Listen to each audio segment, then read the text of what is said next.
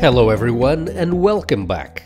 In this new lesson we are going to introduce a new NGRX key concept, the concept of action. We are going to build and dispatch our first NGRX action. So what is exactly an NGRX action? Well, an action is a plain JavaScript object that we send to the store in order to trigger some modification of the store state. So each action has a type which is a string. For example, this action here could simply be called the login action. Each action also contains a payload. So the payload of the action is any data that the store might need in order to create a new version of its internal state. In this case, the payload would be the user itself. So here we would uh, provide a property called user profile containing the user profile data that we have received here after the call to login. So there are multiple types of actions. An action can be, for example, a command that we send to the store. We explicitly tell the store to perform a certain operation. An action is more often an event reporting something that has happened at the level of the component and those are the two most typical types of actions. In every case, an action always has a type and usually it has a payload, although that's not mandatory. In any case, dispatching an action it's the only way of modifying the store state. Now, what is the benefit of using this particular API based on the dispatching of action objects when compared to a more common API such as for example a CRUD-like API where we would have here at the level of the store methods such as update, create or delete. Well, this creates a level of indirection.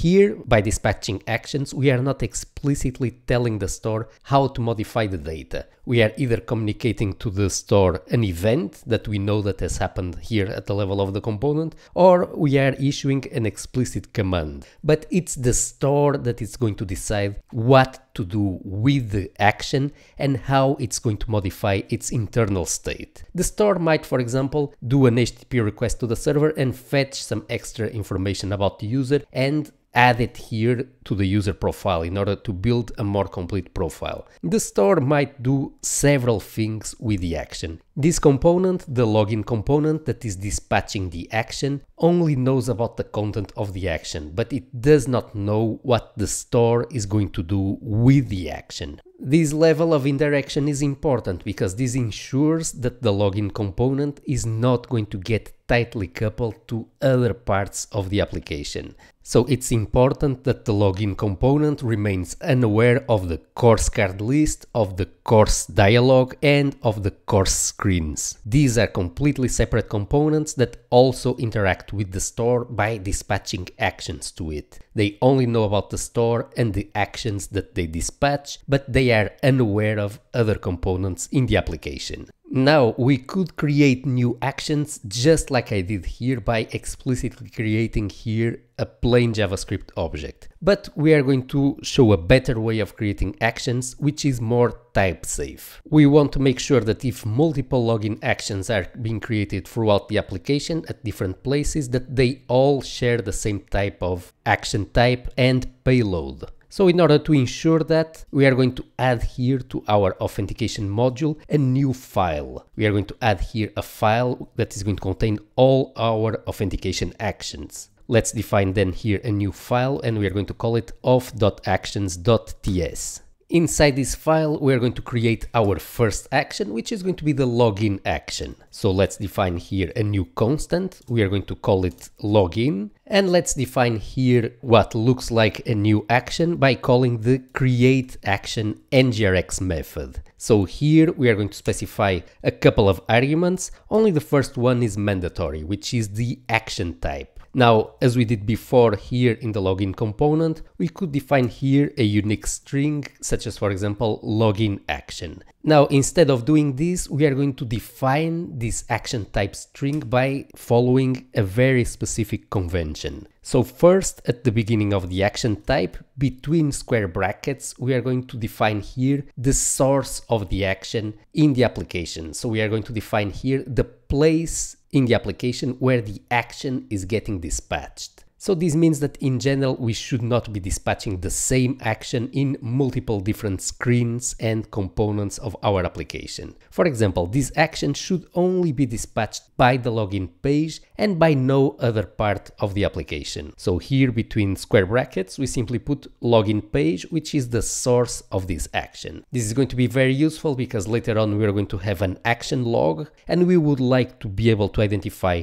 just by looking at an action in our action action log where that action is coming from. Now the second part of the action is going to be either the event or the command that the action corresponds to. So in this case, this is an event that we are reporting to the store. We are informing the store that the user has logged in. Now, after defining the mandatory action type, we would also like to define in a type safe way the content of the payload of the action. So as we can see, we have here an object that gets dispatched inside the action, which contains here a property which is the user. And instead of user profile, we could even call this property simply user and we would simplify here the definition of the payload by removing here the value of the object property. In all cases we want to define that the login action as a payload which is a plain JavaScript object containing one single property named user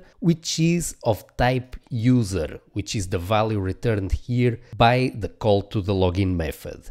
So here in our action definition, we are going to add here a second argument, which is a call to the utility function props from NGRX. So this function doesn't take any arguments, but it does take here one generic parameter. So this generic parameter is the type of the payload associated to this action. So as we have seen, the payload should be a plain JavaScript object containing one single property and nothing more called user, which should be of type user. Now here is one important thing about this login constant that we have just defined. This is actually not the type definition for the user login action, instead this is what is known as an action creator. So login is not the definition of a class, it's actually a function that we need to call in order to create a new login action. Let's for example define here a new action and we are going to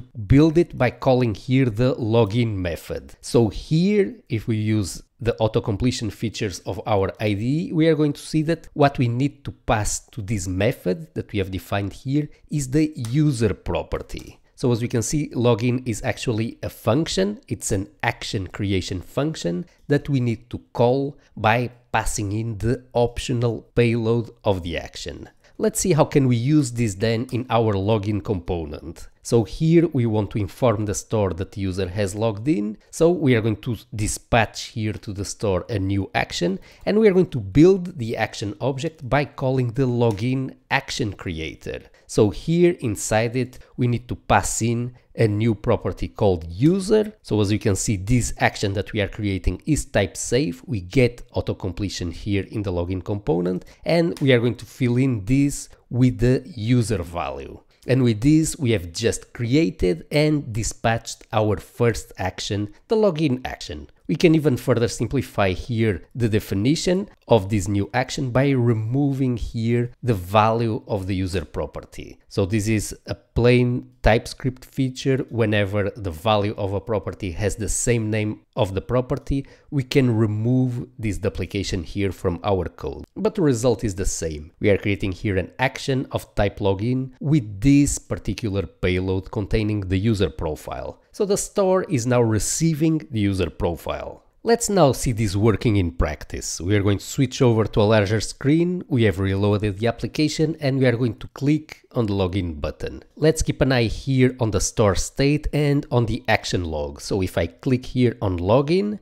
we are going to see that I got here a new entry in this part of the screen, which is the action log. And notice that we are getting logged here the action type. So if I click on this line, I'm going to select this particular action. If I click here on the action button, I'm going to get here the payload of the action. So as we can see, the type corresponds to the user login action and the payload corresponds to the user profile that we got back from our call to the backend. So if I switch here to our network tab and I select here the login request that we did to trigger the login, we are going to see that in the response to this request, we have received here the user profile, which is the data that we have available here in our action payload. So we can see that our action was dispatched correctly but if we click here on the state button of the DevTools, we are going to see that even though we have dispatched the action correctly, the state of the store has not been affected. And this is normal because the dispatching of an action itself does not affect the store state. So an action is simply a plain JavaScript payload, either a command or an event that informs the store that something has occurred externally but by itself an action is not going to directly modify the store state. In order to modify the store state and save here the user profile